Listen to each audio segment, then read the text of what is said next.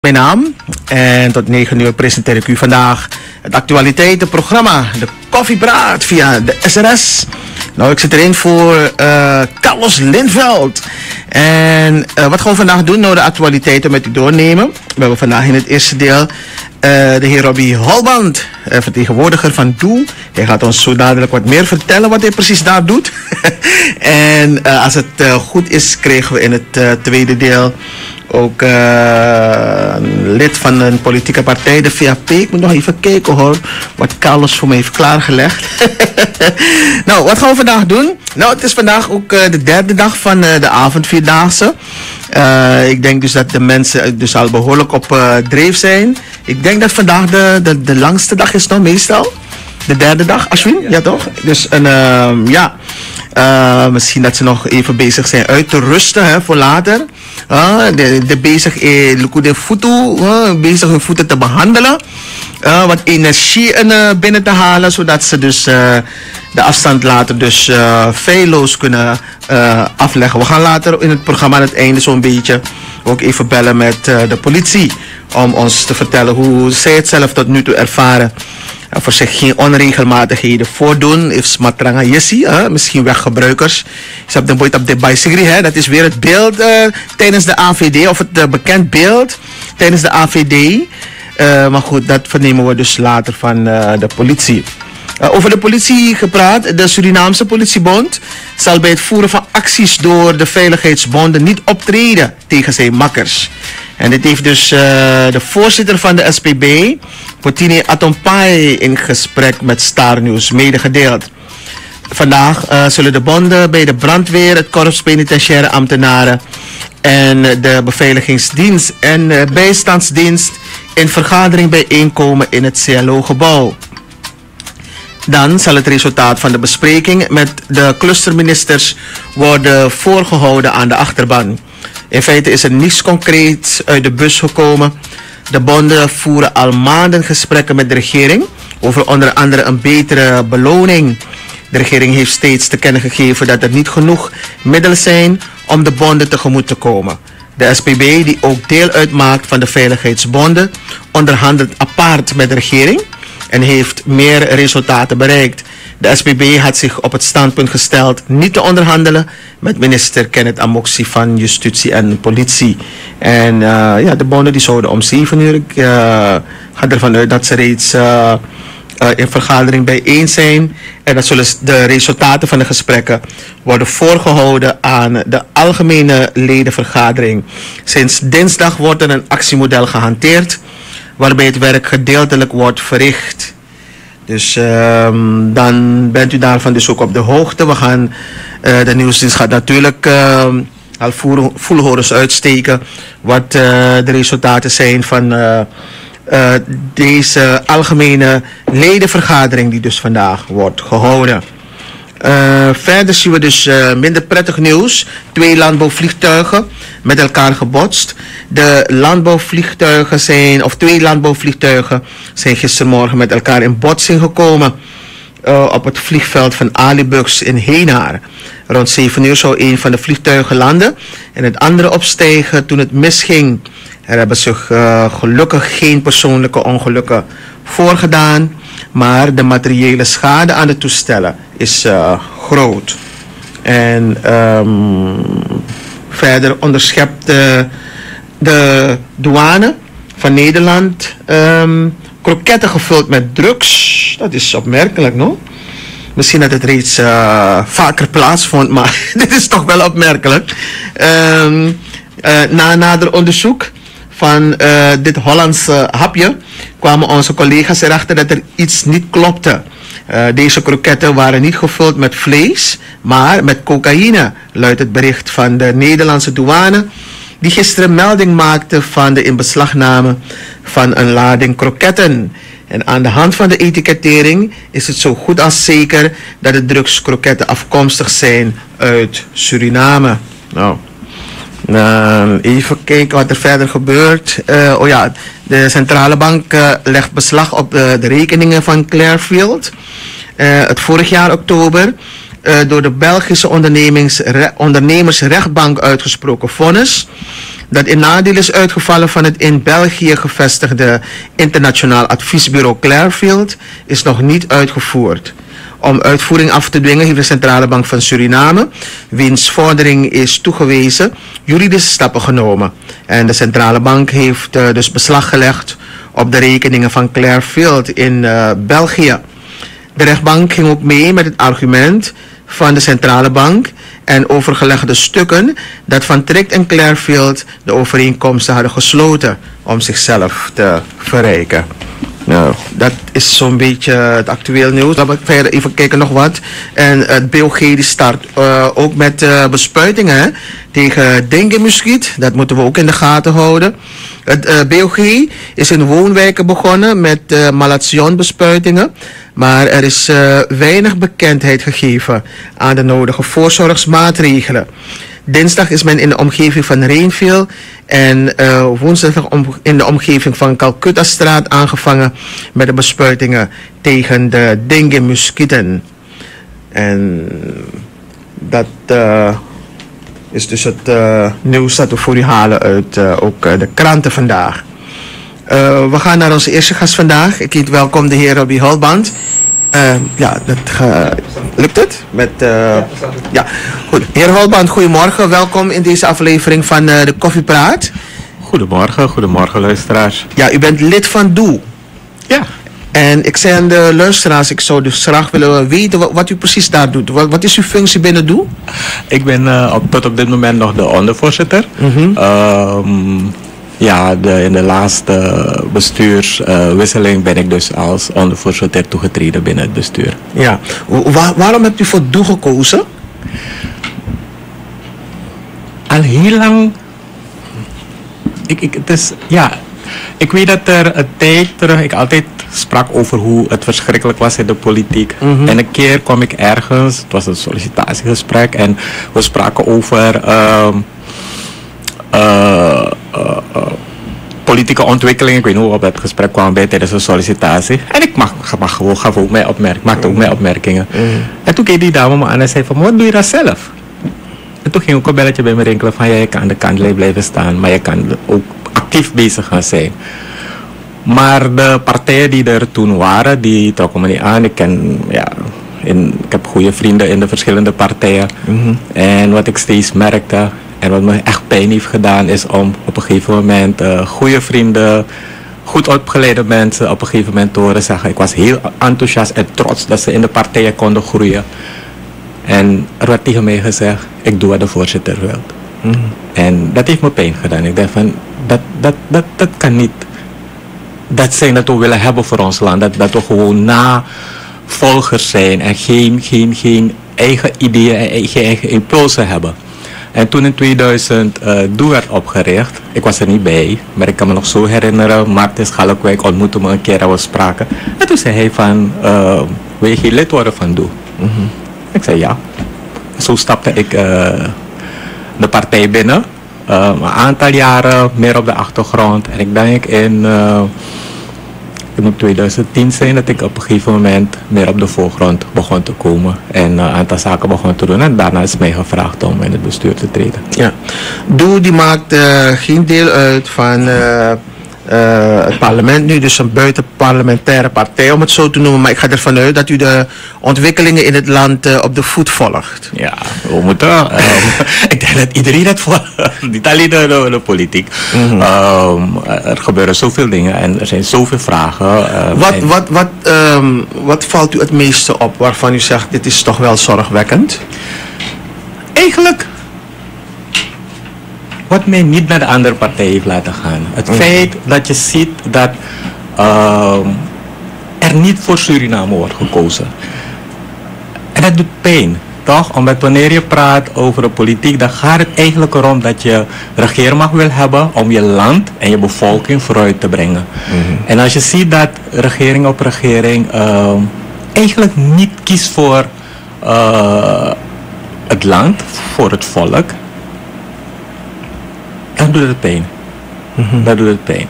En, en dan heb je met heel veel voorbeelden. Ik, ik bedoel, we hebben vanaf het begin gezegd bij uh, aantreden, uh, of voor de verkiezingen, voor de laatst gehouden verkiezingen van 2020, hebben we gezegd van weet je, we gaan harde maatregelen moeten treffen om het land vooruit te brengen. Want wat daarvoor was gebeurd was niet goed. Toch? Ehm, dus het was te verwachten dat er harde maatregelen zouden komen. Maar als je kijkt naar de keuzes die gemaakt worden, dan zie je weer van, we kiezen niet voor het land. We kiezen voor, ehm,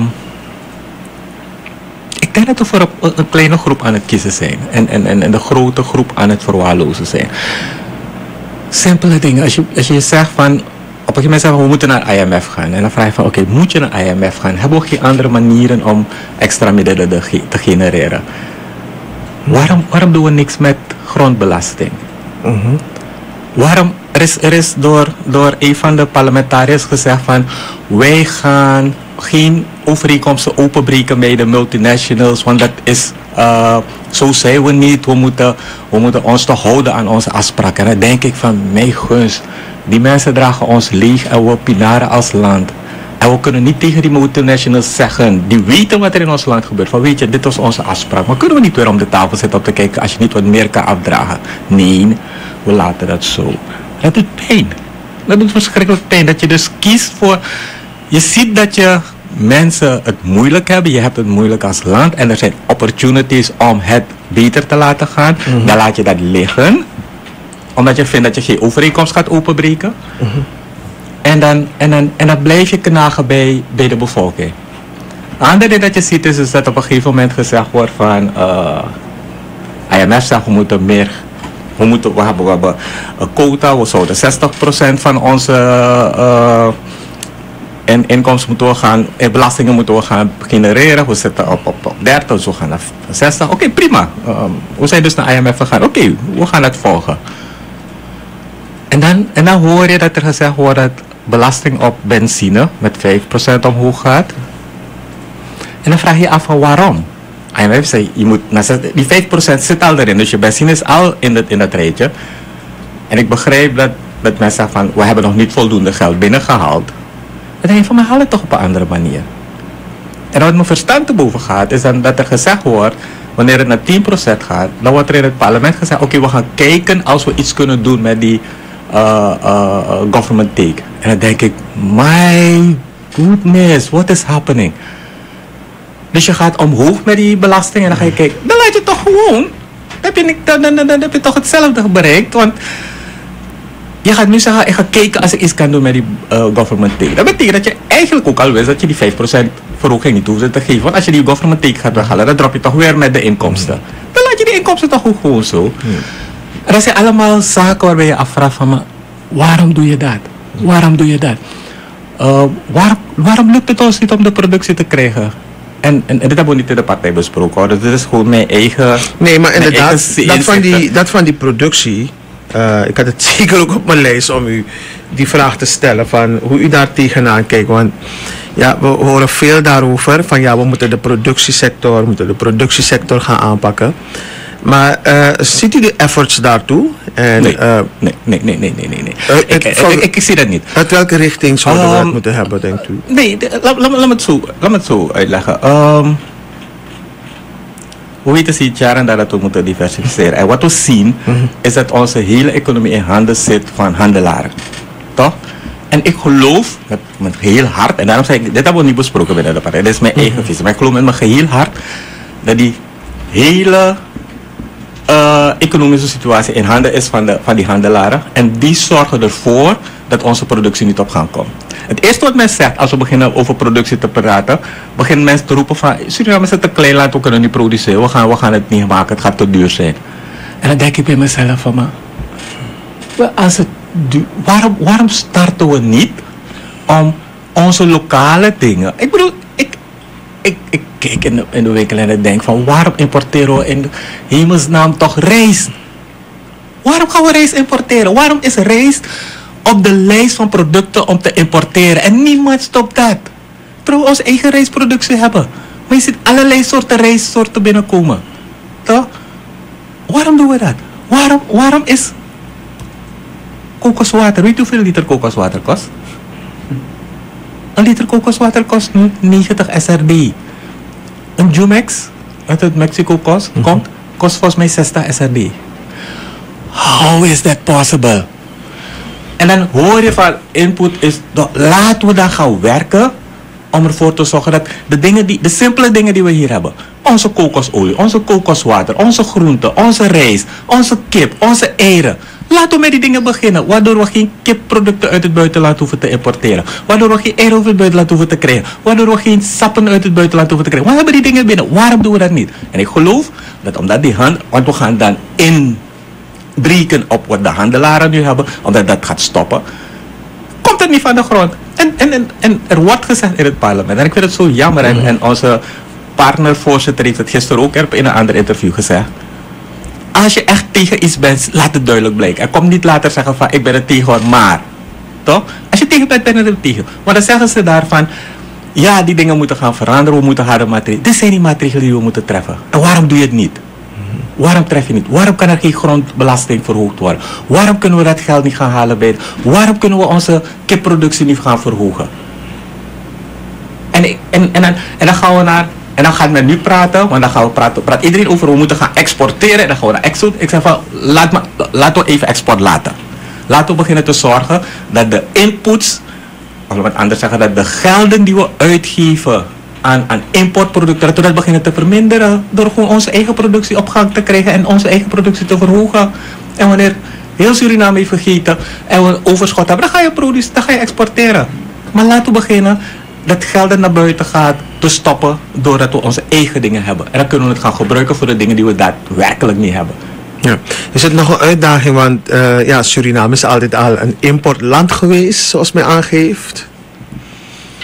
Het is natuurlijk een uitdaging, want je gaat niet tegen establishment gaan vechten. Toch? Ehm, en wij, wij, zijn, wij zijn gelukkig. Dus, eh, ik, ik weet dat eh, er, waren, er waren financiers die naar ons toe kwamen en die ons geld willen geven. En we hebben gezegd nee, want we weten niet van waar het geld komt. We zoeken, als je ons wil ondersteunen, moet het duidelijk zijn van waar het geld komt en dat soort zaken. Die, die hele economie, de hele politiek zoals het nu is, zie je dat met gelden vanuit de handel en van allerlei eh, plekken gefinancierd worden. En die hebben de, die hebben de hele ontwikkeling in, in, in handen. En als je dat wil gaan doorbreken, eh, is het inderdaad de uitdaging. Wij hebben het voordeel dat we met onze breedkaartje van onze mond kunnen zeggen van we kunnen komen en we gaan iedereen aanpakken. En, en als ik zeg iedereen, dan betekent het ook dat de mensen die die economie in een, in een kanaal hebben, dat we dat willen doorbreken. Maar ook dat die opvoeding die we hebben gehad. Ik noem het die bedelmentaliteit van Lanti moet voor me zorgen. Dat, dat iedereen wacht op Lanti om, om dingen gedaan te krijgen. Dat we dat ook gaan veranderen. Want er zijn onze sociale voorzieningen. Als je kijkt naar wie er allemaal in de sociale voorzieningen zit, dan vraag je af van, maar is het nodig? Toch? Ik ken zelf mensen met beperkingen die supergoed werk verrichten. Ik, ik heb zelfs in mijn, in, in, in mijn vorige loopbaan een aantal mogen aantrekken. En ik weet zeker dat ze veel meer, soms misschien zelfs driemaal meer, of misschien zelfs viermaal meer verdienen op dit moment, dan wat de mensen krijgen uit die sociale fonds. Hoeveel is het nu? 2500 nog? De mensen verdienen veel meer dan ze. Toch? Ze kunnen werken. Maar we hebben een mentaliteit ontwikkeld. In het verleden was het voornamelijk in het binnenland. Als je naar het binnenland ging, nou, zei je Jimmy, toch? Omdat iedereen ging en alleen maar cadeautjes gaf. Eh, De koloniale overheersers hebben we omgewisseld naar onze eigen mensen met dezelfde kenmerken. En nu wordt het landelijk toegepast, toch? Je krijgt van regeringsleiders een tegemoetkoming. Je kiest waggy, je kiest roken, je kiest die, je kan zitten en, en alles wordt voor je gedaan. En dat is een mentaliteit die we ook moeten gaan veranderen. Wij als Surinamers moeten werken voor het land. En we moeten leren en we moeten trots zijn op hetgeen we doen om vooruit te komen. We moeten niet blijven kijken naar leiders en regeringen die dingen voor ons gaan doen. Laten we het zelf doen. En daar gaan we ook aan moeten werken. Dat we die switch gaan maken. En daarom zeg ik, het gaat dwars door. Het gaat als, als wij de gelegenheid krijgen om op een gegeven moment te regeren, zullen wij echt daar ook op gaan zitten van één. Die hele economische macht gaan we moeten doorbreken en het gaat een hele harde dobber zijn. We weten hoe moeilijk dat is. En we weten dat het helemaal in alles verweven zit. Maar ook naar beneden toe gaan we moeten leren van wij als bevolking, we moeten het is toch een schande dat we mensen moeten importeren om, om, om, om in Suriname te komen werken. Terwijl als je gaat kijken naar uh, al de mensen die, die staan op sociale kaarten te krijgen en alle soort zaken. En, en, en werk zoeken. Er zijn er zoveel mensen. Maar iedereen wil op kantoor gaan zitten. Dat moet we veranderen. Ja. We zitten voor belangrijke ontwikkelingen. Uh, binnenkort komt er ook een uh, topman van een aardoliemaatschappij naar ons land. Het heeft allemaal te maken met de aardolie- en gassector, heer Holband. Uh, wat is de visie van Doe ten aanzien van deze ontwikkelingen? Ik moet lachen, omdat uh, sinds jaar en dag, en dat is een van de dingen die ik steeds overal predik, ook binnen de partij, praten we over dat Suriname haar ontwikkeling heeft gestoeld op de mijnbouw. Mm -hmm.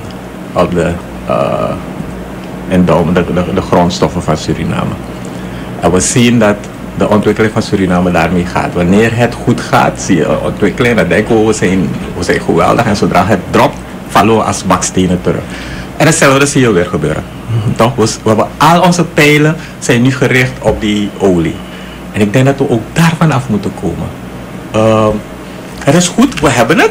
Mm -hmm. Overigens maak ik mezelf ook al een beetje zorgen, omdat we weten dat de, de, de, de, de, de milieuactivisten en de milieuorganisaties en, en, en, en, en, en, en de grotere landen allemaal al beginnen te praten over vernieuwde energie.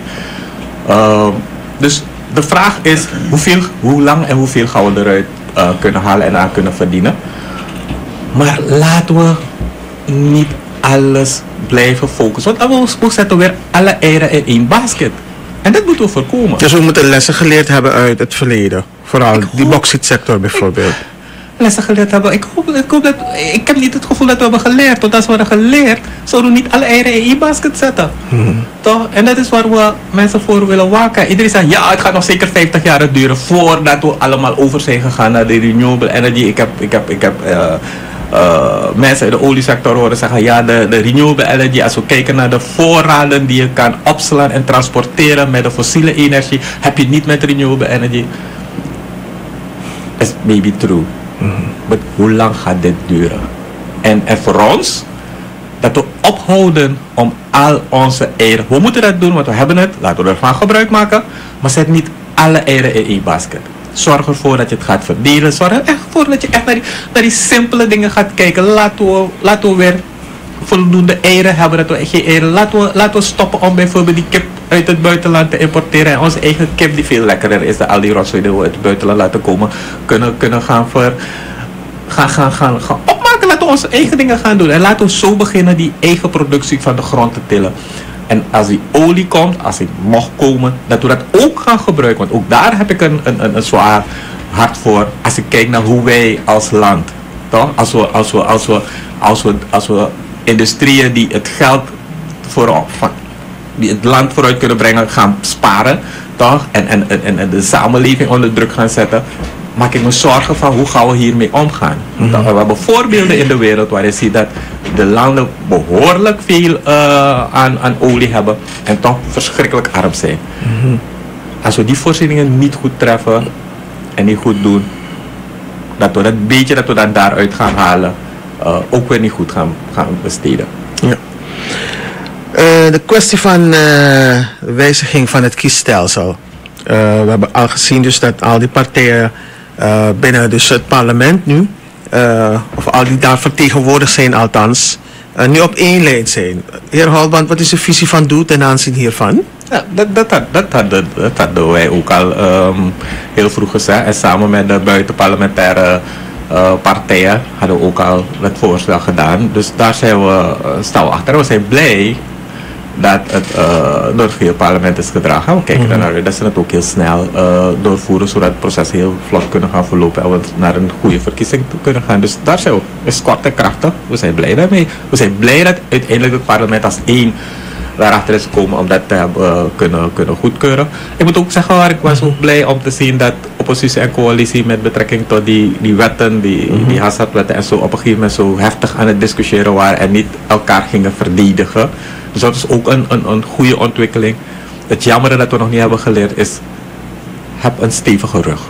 Als je is, is niet goed is, ga er tegenover. Dus er zijn een paar kleine, kleine lichtpuntjes. Uh, en met die wet, dat, dat, dat is wat we allemaal hadden aangegeven. Maar uh, je hebt dat aangehaald van die, die, die gokwetten. Um, had u het anders gezien of uh, bent ja, u... zeker weten. Toch, waarom gaan we, gaan we de inkomstenbelasting voor, voor, voor casinowezen verlagen? Wat, wat, dat is wat ik bedoel met wat doet pijn, wat voor gekheid is dat? Die mannen betaalden al 50%, je brengt het naar 40%. Wat voor gekheid is dat? Mm -hmm. Je wil geld hebben, maar je gaat waar, je dat, waar het geld is, ga je verminderen. Dus dat zou ik anders willen zien, ja. En, en, en sommige dingen, wat, ben ik misschien radicaal. En, en, en, en van het, het, gokken is niet goed. Het gokken is niet goed, dus waarom ga je dat faciliteren? En ik sta wat dat betreft, ben ik het uh, helemaal eens met Yogi, die heeft gezegd van, wat voor gekheid is het om te zeggen van, we hebben het nodig voor toerisme. Het werkt niet voor toerisme. Overigens, het zijn niet de toeristen die daar uh, aan het gokken zijn. Het zijn onze Surinamers. Dus, en hij, ik, ik, ik me later herinneren dat het inderdaad is gebeurd, ja. En hij noemde twee voorbeelden van, als dat zo was, Waarom is Torarica zijn casino gesloten? Waarom sluit Prinses, was het nog, dacht hij dat hij noemde, zijn, zijn casino? Of de ene die tegenover, waarom sluiten ze als het zo was? Dus die hele argumentatie over het is voor toerisme, is rotzooi. Moet je gewoon niet doen. We zitten al als met de bevolking die, die, die, die uh, geleerd is, die, die opgevoed is van, je gaat het voor me doen daarnaast heeft die bevolking nu, die omdat het zo zwaar is, krijgen ze nu heel wat gekke dingen in, uh, te zien om te zeggen van je kan een kans nemen om, om ineens met één, met één uh, druk op de knop rijk te worden. En, mm -hmm. en, en, en, ze gaan in die verleiding en ze blijven in die verleiding en we doen er niets aan. Dus mijn part, sluit dat ding. En als men zegt van werkgelegenheid, er is ook al een voorbeeld gegeven in het parlement van bijvoorbeeld die, die, die online bettingskantoren. Als je die allemaal sluit, is, er geen, is het niet dat je werkloosheid krijgt. Want is, zoals het zo mooi is gezegd, het zit in diezelfde winkel. Waarbij je geen extra mens, aan, aan, mankracht aan de pas is gekomen. Dus sluit dat ding. Mm -hmm. dus, en daar bedoel ik van, welke, welke, voor wie doe je al deze dingen? Toch? Doe je het voor het volk of doe je het voor een kleine groep? En als ik daarnaar kijk, heb ik echt het vermoeden dat we echt maar bezig waren voor een kleine groep om die te beschermen en het geld te halen bij bij de bevolking. Er zijn een aantal dingen waarvan je zegt van aan de kant. Toch, dat zou je gewoon kunnen sluiten en, en, en ook, ook, ook, ook. Ik, ik rekende uit. Al die casino's en die betting brengen maar 20 miljoen SRD per jaar op. En ik bedoel, ¿qué pasa? Wat gebeurt er? en dan gaan we daarvoor vechten?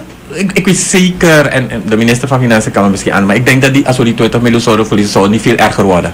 Dan laten we het op een andere manier binnengaan. Laten we het met, met onze goud binnen gaan halen. Laten we het met onze, onze, onze, onze, onze uh, grond binnen gaan halen. Dan uh, weet ik zeker dat we meer dan die 20 miljoen per jaar binnenhalen. Ja, we gaan naar de afronding. U noemde grond. We zien ook wat ontwikkelingen op dat gebied op het ministerie van GBB. Baart het u zorgen wat er daar gebeurt? Ja, maar dat is niet iets van nu. Mm. De, de, de, vraag die we moeten stellen van waarom is het nu gaan uh, zo'n explosie gekomen? Komt het omdat het vanuit een politieke topper, uh, dat het daar fout ging, dat ineens iedereen begint te praten? Uh, dat men erover praat en, en het echt aanpakt is, is, is sowieso positief, toch? Maar waarom nu, nu? Waarom niet toen al bij, bij, bij, bij, uh, bij de aantreden van de regering? Want we weten dat de dingen daar niet gaan. Ik heb zelf mijn eigen ervaring gezien van wat er aankwam. Ik heb ook het terrein verloren. Ik kende het proces niet. Toch? Mm -hmm. um, ik was in een scheiding en ik heb, ik heb het terrein gekocht en het was grondhuur en ik wist niet dat je je dingen moest zetten. En toen ik naar mijn terrein ging kijken was het weg. Ja. ik heb het gekocht. Ik heb weer een terrein gekocht, ook een grote, nu had ik wat weer in. Ik, heb, ik, heb, ik, heb, ik ben erop gaan bouwen. En na een tijdje vervalt het terecht en je gaat op tijd, zes maanden van tevoren.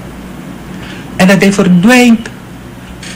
Dus er zijn geen dingen van nu. En, en, en, we, moeten, we moeten een aantal zaken in Suriname op orde krijgen. Die, onze parlementariër Karel heeft in het, in, in het parlement steeds gepredikt van die corruptie, die corruptie moeten we tegengaan. Want dat maakt ons land erg ziek. Mm -hmm. Het verziekt het land en we moeten dat soort zaken echt met wortel en al uit gaan bannen.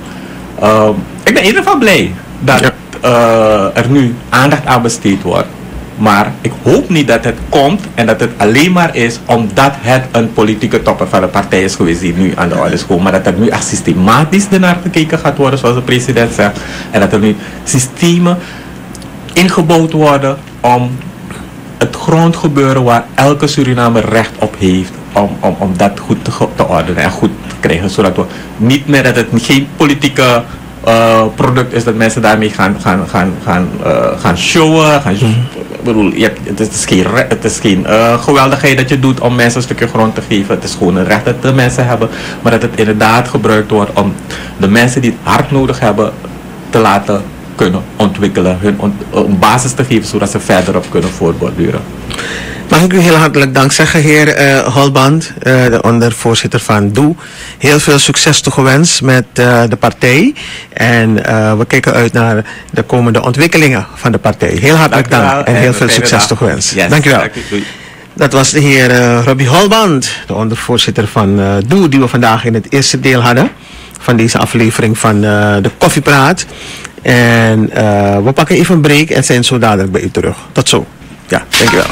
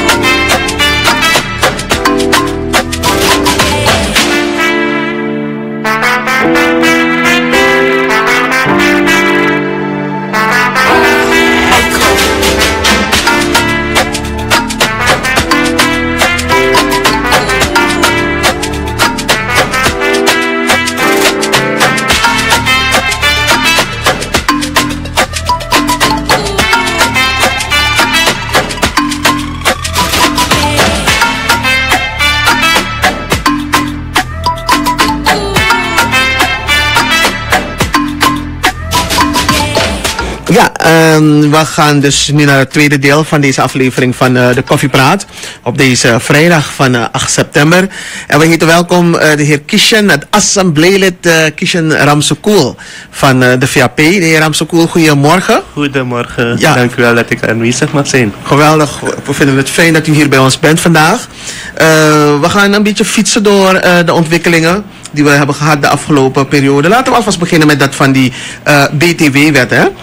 Um, hoe kijkt u terug op uh, die kwestie? Want het heeft heel wat voeten aan de aarde gekost om het uh, zover te krijgen. Dus dat uh, toch wel die wijziging erdoor is gekomen. Hoe kijkt u terug? Ja, kijk, in het begin, ik, ik, ik, denk als u, als u mij bedoelt zou volgen in ja. de eerste ronde -hmm. van DNA waren we nog niet op één lijn. Waren we het niet eens met de wijzigingen. Ja. Uh, u, moet weten, in, in december, mm -hmm. uh, toen we de wijzigingen aanbrachten, ja. was ik een van de initiatiefnemers. Mm -hmm. En we hebben toen heel veel zaken op uh, nul tarief gebracht.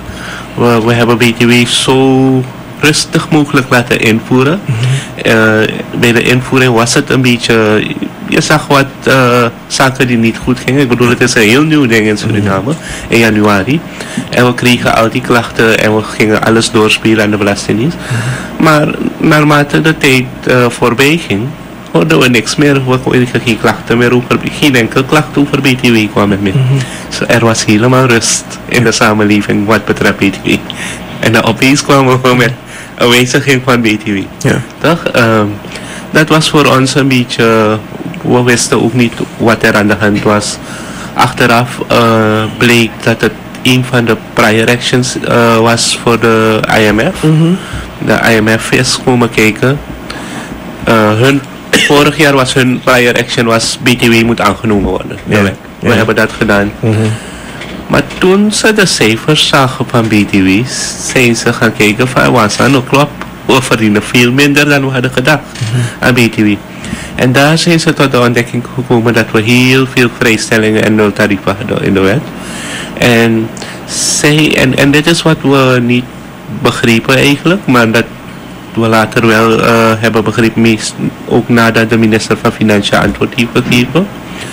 Uh, het, ging niet, het gaat niet per se om het geld. Het gaat om die duurzame ontwikkeling die be bereikt moet worden met BTW. Over vijf jaar, over tien jaar, of over een jaar of dit jaar nog, moeten wij aan de consumptie, 60% van de consumptie moet belast zijn. Uh, dat, dat is een beetje internationaal de minimum. Is, is niet, eens, niet eens veel. Weet je, is minimum. Dat is wat andere landen hanteren. Maar zij zeggen als je die minimum gehaald hebt, weet je zeker dat je een gezonde basis hebt uh, voor je economie. En de Belastingdienst zei van nee, kijk, met de wet zoals het was in december, behalen we onze target straks wel. Onze target was uh, 4, 4, 4, 4, 4 miljard ongeveer. Mm -hmm. En ondanks we een achterstand hebben gehad in de eerste drie, vier maanden, begon het te lopen. Vooral na juni mm -hmm. begon het te lopen. De inkomsten komen naar binnen. En ze zeiden, we gaan onze financiële target wel halen. Binnen een jaar. Mm -hmm. Dat we die 4 miljard hebben. En IMF zegt, dat is geweldig. We zijn heel blij dat je dat gaat halen. Maar we moeten verder kijken. Als je zoveel vrijstellingen, zoveel nultarieven hebt, kan het nooit gezond zijn voor de economie. Dus uh, zij hebben gezegd, uh, en, en, en ook wij uh, als Surinamers, wij moeten er naartoe werken dat we nooit meer de IMF nodig hebben in Suriname. De IMF hebben we nodig gehad omdat het heel slecht is gegaan in Suriname. Heel veel verkeerde beslissingen zijn genomen. Mm -hmm. Daarom zijn we bij de IMF gestapt. Ja. En nu moeten we er naar werken, mm -hmm. met de hulp van IMF, dat we nooit meer naar IMF gaan. Ja. En dat is de reden eigenlijk waarom BTW aangepast is geworden. Ja. Nu uh, heb ik toch wel wat uh, kritische kanttekeningen gehoord van politici, ook uh, vakbonden, die hier tegen opstand zijn gekomen. Die hebben aangegeven dus dat met deze wijziging het leven voor de mensen nog moeilijker wordt in het, in het land. Ja. Nee, um, er, zijn, er zijn inderdaad wat zaken erin opgenomen, zoals uh, 5% verhoging van de benzine. Mm -hmm. De benzineprijzen zijn al zo hoog. Internationaal is er een, een, een hele, uh, ja, we weten niet waar het naartoe gaat internationaal. Mm -hmm. en, en de prijzen zijn losgelaten op dit moment, dat wil zeggen geen subsidie. Um, na jaren, na drie jaren om precies te zijn, verdient de overheid eindelijk weer iets uit benzine daar is de BTW met 5% omhoog gegaan. Dat zal straks betekenen, want we hebben een korte periode ingelast voordat het ingaat. Dat straks die prijzen omhoog gaan door BTW ja. en niet meer door de internationale mm. dingen. Dat, ik denk dat dat nog steeds doorgaat hoor. Uh, daarnaast op stroom, water en gas is er ook BTW, 5%. En daar waar de gasprijzen ook losgelaten worden, de stroomprijzen worden los, mm -hmm. de waterprijzen, heb je ook BTW. Dus ja. ik kan de gevoelens snappen. Uh, dat, dat het inderdaad uh, wat zwaarder wordt uh, voor het volk. Maar daarom heb ik de regering ook gevraagd. hoe ga je dat opvangen? Mm -hmm. We weten allemaal dat subsidie ons land in een positie heeft gebracht waarin we niet willen komen. Dat is ook een van de redenen waarom ik zeg, ik kan het eens zijn met het afschaffen van subsidie. Objectsubsidie. Mm -hmm. Maar hoe ga je dat van subjectsubsidie opvangen? Hoe ga je de mensen die het hard nodig hebben mm -hmm. um, tegemoet komen? En want, want als we benzineprijs, als we weer een subsidie daar zetten of we zetten 0% BTW en we halen, uh, hoe noem je dat andere ding, government take. Government, government take is een verzamelnaam van de belasting hoor. Mm -hmm. Als we dat weghalen, uh, bevoordeel je niet alleen het volk die het zwaar heeft, maar ook dat deel van het volk die het wel kan betalen. En, en daar zeg ik, laten we liever een goed programma maken voor het volk mm -hmm. dat het zwaar heeft, de, de, de onderste laag en de middenklasse ook. Uh, laten we ook daar naar kijken. En die prijs marktconform maken. maar je vangt het op een andere manier op. Dus dat heb ik gevraagd. En de regering heeft aangegeven dat ze daarom de ruimte hebben ingebouwd in de wet ook. Eh, een deel gaat in november in. Dus zij hebben ruim tijd om dat stukje in orde te maken. Ja. Eh, ook, en dit is ook belangrijk om mee te nemen, want eh, wanneer we horen IMF, dan denken we van boy, deze mensen willen alleen maar verhogen, verhogen, verhogen. Maar een van de targets die niet gehaald was in juni, afgelopen juni, was een sociaal programma. IMF zegt, Ja. je moet meer gaan doen voor het volk dat moeilijk heeft. En, en zij hebben, en ook in onze begroting, is er een groot deel aan geld dat nog open staat, waar men zegt, gebruik dat geld om het sociaal programma te verbeteren. Eh, men heeft dat proberen op te pakken door te zeggen van AOV'ers krijgen die 1800, ehm, eh, maar ook verhogingen zijn gegeven, ik denk eh, aan, aan personen met een beperking. Aan al die groepen, het zijn vier of vijf programma's, Ja. die zijn verhoogd. Koopkrachtversterking aan zwakke huishoudens, koopkrachtversterking aan de ambtenaren. Dus dat zijn wel dingen die mee zijn genomen. Maar dat was ook naar mijn mening voor die BTW. Ja. Toch voordat Ja. we dat doen. Dus ik zeg, laten we kijken binnen de mogelijkheden. Ook eh, wat de IMF voor ons heeft uitgezet. Wat onze deskundigen hebben opgezet, uitgezet. Wat zijn die, die mogelijkheden om verder het volk te ondersteunen? En precies die mensen te ondersteunen die het nodig hebben. Want niet altijd gaat dat naar de juiste plek waar het moet komen. Ja. Dus eh, de overheid heeft daar wat tijd voor ingeruimd. De verhogingen van BTW zijn nog niet ingegaan. Die gaan nog in. En ja, ik denk dat ze binnen die tijd die wij goedgekeurd hebben, daar, daar gaan gaan werken. Ja. Ehm, critici, eh, we hebben dan net bijvoorbeeld de heer Holband hier gehad van Doe. Eh, die geven aan dus dat er andere mogelijkheden waren voor de overheid om aan die inkomsten te komen. Heel wat eh, belastingen die blijven liggen, vermogensbelasting heeft die noemt men. Men noemt dat van die, die hele ordening ook in die goudsector, die maar niet op gang komt. Verder hebben we ook nog dat van de grondconversie. Eh, die ja, nog heel wat haken en ogen heeft. Eh, hoe kijkt u eh, tegen, die, eh, tegen de kritiek aan? Als men dus aangeeft van ja, er waren andere mogelijkheden dan IMF.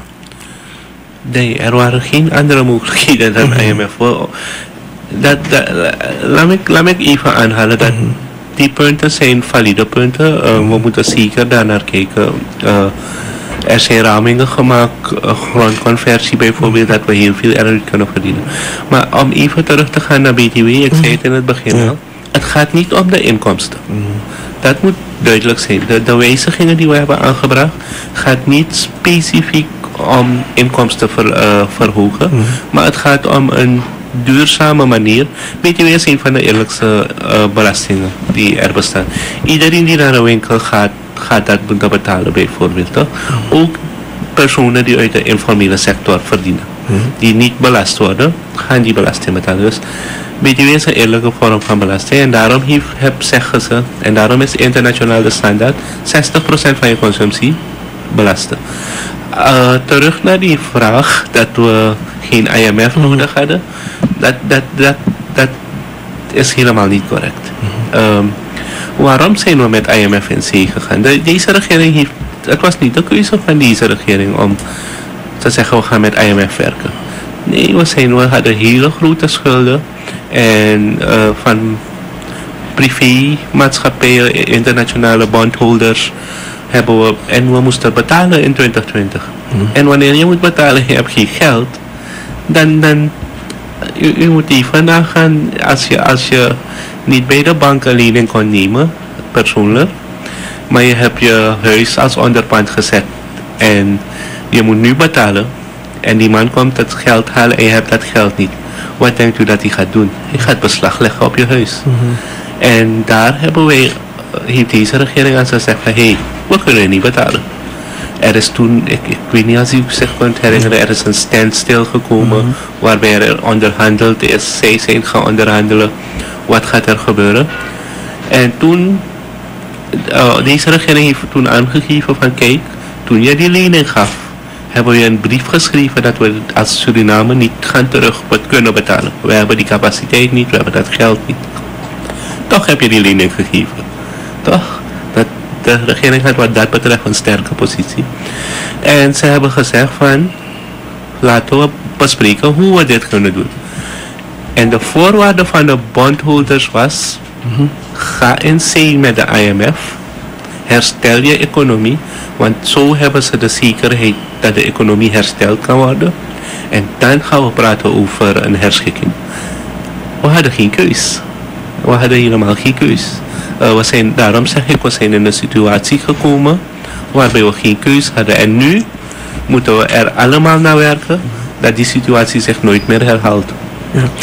Wat zijn uw verwachtingen? Want we moeten wederom een, een, een beoordeling krijgen door het IMF. Ja, ik, we hebben, uh, ik denk dat we door die beoordeling heen gaan.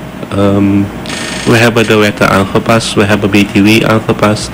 Uh, dat van uh, het sociaal programma. Mm -hmm.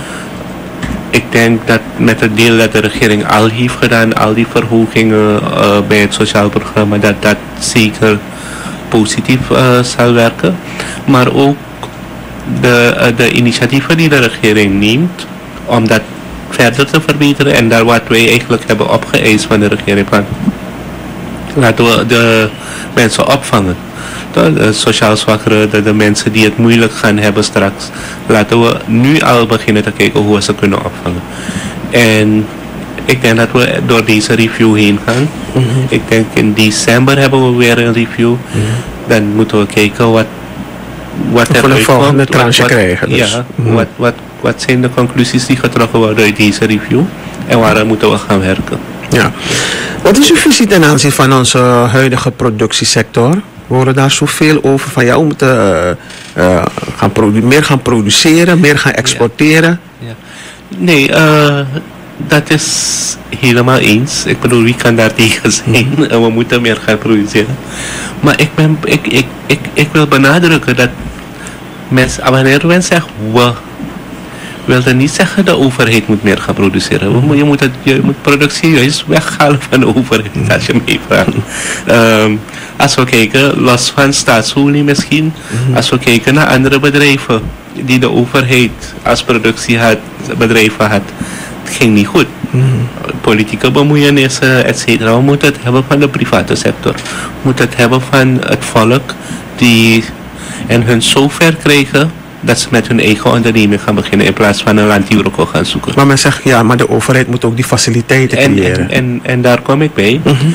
Ik ben blij en ik ben heel trots dat ik heb mee mogen werken aan uh, deze wetten en die nu in de praktijk uitgevoerd worden. Ja. Het NOVA, Nationaal Ontwikkelingsfonds Agribusiness, uh -huh.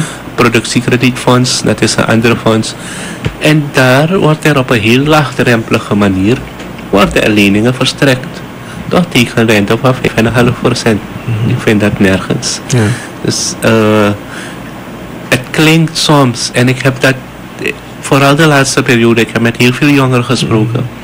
Dan ik, klinkt moeilijk. Je moet naar een bank gaan, je moet bankzaken gaan doen, mm. waar jongeren niet eens een bankrekening hebben. Mm. Dus ik, ik snap die drempel is, lijkt hoog te zijn, -hmm. maar ik heb uh, een aantal successtories mogen meemaken. En ze zeiden van, boy, ik had nooit verwacht dat het zo makkelijk ging. Uh, productiekredietfonds, als je kijkt naar de, de, de, wat je allemaal nodig hebt businessplan en zo. Het klinkt allemaal moeilijk. Maar het is bij uh, eh, NOB. En we hebben een afspraak met NOB. Mm-hmm. Stuur niemand weg. Probeer de mensen te begeleiden. En zij begeleiden de mensen op een manier. En dat heb ik uit, het, uit de praktijk uh, mogen horen. Dat, dat, dat je bijna niet... Het, het is onmogelijk om niet in aanmerking te komen. Mm-hmm. Dus het, het enige drempel die er nog is, is om uit je comfortzone te gaan en daar die stap te maken naar ze te gaan. En te zitten met ze en zeggen van ik heb informatie nodig. Of ik wil een business starten. Dit is mijn idee. Kan je me helpen? En ze gaan je helpen. Het is zo makkelijk. het is echt zo makkelijk. Het klinkt moeilijk, maar het is makkelijk. Ik denk dat uh, ieder die denkt van een idee heeft, zou ik zeggen, stap, stap naar NOB. Mm Bij Nova is, er, is het wel zo, het gaat om agribusiness.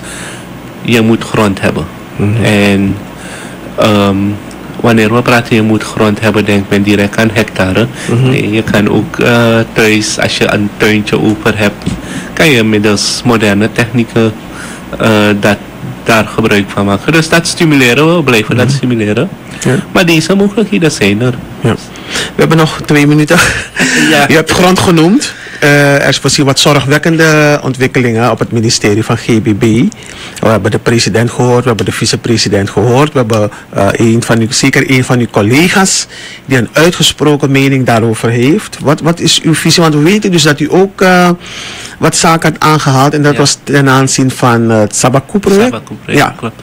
Ja, ik... ik um ik heb een hele andere mening over gronduitgiftes en dat soort dingen. Uh, wat, wat regeringen elke keer wil doen, is dat ze er een sociaal project van maken. Hmm. Maar iemand die eind van de of, of midden van de maand geen geld meer over heeft om, om spullen te kopen in de winkel, wat gaat die persoon doen met grond? Hmm. Begrijpt u? Uh, gaat die persoon kunnen bouwen of gaat hij de grond gaat hij het verkopen. Want dat gebeurt. Uh, mensen speculeren dus. Ze kregen het gratis van de overheid en de volgende dag is er al een advertentie. Dat is ook het geval geweest bij Sabaku project. Mm. Tot 30.000 euro verkocht met een kavel daar. Dus uh, ik heb een heel andere mening daarover. Van, je moet grond juist geven aan mensen die misschien middels die 7% lening die er nu is uh, bij alle banken die die lening kunnen nemen en kunnen gaan bouwen. Mm. Dat tenminste kunnen ze dat doen. Zulke mensen moet je grond geven. Ik zie dat er wat dat betreft ook projecten geïnitieerd zijn. Mensen die gronden hebben gehad. Die gronden zijn niet eens bereikbaar. Je kan niet eens tot je grond. Je weet niet eens waar je... Je hebt een titel in je hand en je weet niet eens waar je grond is. Klopt. Dus ik, ik, ik denk dat we uh, minder politiek moeten gaan bedrijven met dat soort dingen. En het een, een strakke aanpak aan moeten koppelen. Oh, wat betreft het Sabaku-project uh, heb ik de procureur-generaal geschreven en ik kreeg daar een antwoord waar ik eigenlijk van schrok. Um, dat zij de opgevraagde documenten niet krijgt uh, vanuit het ministerie. Dus ik heb de president uh, geschreven en gevraagd dat hij zo spoedig mogelijk zijn ministeries de opdracht geeft om mee te werken aan dit soort onderzoeken. Ik bedoel, we zijn een regering waar wij de rechtsstaat weet je, hoog in onze vaandel hebben. En het is wel triest om dat aan te horen. Weet u of er inderdaad projecten zijn teruggegeven? Ik heb dat begrepen, dat er um, uh, gronden terug zijn gegeven bij het Sabaku-project. Maar bij het Sabaku-project was dat niet eens mijn probleem. Mhm. Mijn probleem was, was niet dat er gronden zijn uitgegeven. Mijn probleem is, de regering heeft 10 miljoen euro betaald om dat ding te kopen. Je hebt het gratis gegeven je koopt terug 10 miljoen. Weliswaar met wegen, netwerk en dat soort dingen, maar 10 miljoen euro is heel veel geld. Mhm. En daar ging het ook bij mij om. Toch? Ja. Los van die uitgifte, want dat mhm. is ook een heel, uh, heel ander verhaal. Maar daar ging het bij mij om. Ja. Heel hartelijk dank, uh, heer Soekoel, dat u vandaag hier uh, bij ons bent geweest om ons te informeren. Heel veel succes toegewenst. U, u, u bent ook al op reces? Uh, Bent u al op vakantie of gaat nee, u... Nee, nee, nee. ik, ik kan me geen vakantie permitteren. heel hartelijk dank uh, en heel veel succes toegewenst. Ik maak er gebruik van. Goed dank u wel, dank u wel. Goed, um, we zouden even twee minuten nog willen bellen met meneer Kensmil. Zijn nummer moet hierin zijn. Dan gaan we even met hem afronden. Dan zijn we klaar voor vandaag. Heel hartelijk dank, heer Sukul, en succes ermee. Many thanks. yes. Mm -hmm. En we bellen even met uh, de heer Milton, uh, inspecteur Kensmil. Dan gaan we met hem kijken, hopelijk heeft hij het niet te druk vanmorgen. Ja, heer Kensmil. Ja, goedendag. Gaat het goed met u met Lloyd Groenewoud, SRS? Ja, maar ik hoor, ik, ik, ik hoor u heel, heel, heel slecht. Hij hoort me slecht, zegt hij. En uh, moeten we ja. iets hier in orde maken? Hoort u me nou beter? Nee, nee, nee. Uh, het geluid blijft slecht klinken. Slecht klinken, hoor. Oké, we gaan u terugbellen. Als het niet in dit programma lukt, uh, dan gaan we het na het programma doen. Ja? Goed zo. Oh, lukt, gaan we nu dat proberen? Oh, oké. Okay. Uh, Ashwin is zo lief om dat te doen. ja, heer Kensmil. Wat zei u? Ja. Is het nou beter? Ik zeg, de, de verbinding, de verbinding, uh, de, de, Hoogstwaarschijnlijk, uh, ja. is heel slecht. Klopt, ja, klopt, inderdaad. Maar uh, misschien dat we het toch zo kunnen doen. We hebben maar een minuutje of twee met u, maar ik ben benieuwd, um, hoe is de tweede dag van Wandelmars geweest gisteren, van, van de AVD? Nou, de tweede dag die is uh, ook redelijk verlopen. Ik heb geen rapportage gehad van uh, calamiteiten. Mm -hmm. wel wil ik, wel wil ik de, van deze kant uit het beroep doen op toeschouwers. Wanneer wordt gevraagd om de rijbaan vrij te houden, dan, menen, dan bedoelen wij daadwerkelijk de rijbaan vrij houden. We hebben gisteren gemerkt dat, dat, dat toeschouwers al te vaak op de, de trottoirranden zitten met de benen en op de voeten wel op de rijbaan. Dat zorgt voor, de, voor, voor onnodige problemen. Dus van deze kant uit vragen wij de medewerking aan de toeschouwers. Blijf van de rijbaan af. Laat de politie zijn werk doen naar de uh, deelnemers naar de AVD ja, ongehinderd, ongestoord hun route vervolgen, dan denk ik dat we, dat, dat we aan het eind toch wel een prettiger uh, kunnen praten over geslaagde APD. Heeft de politie problemen gehad met uh, zeg maar automobilisten? Want we weten dus dat er ook mensen zijn die altijd klagen van ja, wandelmars, uh, AVD, zorg lo, uh, problemen, lo, verkeersopstoppingen en dat soort dingen. Nou, dat ga je sowieso hebben, vooral in de dichtbevolkte buurten. Kun je sowieso uh, ja, verkeersopstoppingen krijgen. Maar juist daarom hebben wij van tevoren gevraagd aan verkeersdeelnemers wie niet noodzakelijk moet zijn in, in, in de omgeving van de route of op de route, om die zoveel als mogelijk te vermijden. Maar ik merk dat men juist ervoor kiest om die drukte in te gaan. En ja, ja, dan kun je, dan kun je, dan, kunnen mensen iets langer in files komen te staan, ja. Dus het, het gaat om een medewerking, ieder even je, route plannen. Ja, als je van noord naar zuid of van zuid naar noord, oost naar west moet gaan, plan zodanig dat je niet in de omgeving komt van de route van de wandelaars. Dat is duidelijk. Heel hartelijk dank voor dit kort moment, uh, heer Milton Kensmeel. We blijven met u natuurlijk de ontwikkelingen volgen. Heel veel succes toegewenst met het werk. Ja, u ook. Dank u wel. Dank u wel. Toegewenst. Dank u wel. Goedendag. Dank u wel. En dat was uh, inspecteur uh, Kensmeel tot besluit van deze aflevering van de Koffiepraat. Nou, um, ik wens u allen een heel uh, goed weekend. let u vooral goed op uzelf. Ook deze twee dagen die er nog zijn voor de AVD.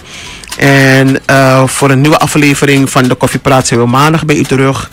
En uh, volgt u onze website, de berichten, de quotes die we daar voor u hebben klaargelegd. En ik wens u nog een hele goede dag verder. Dag.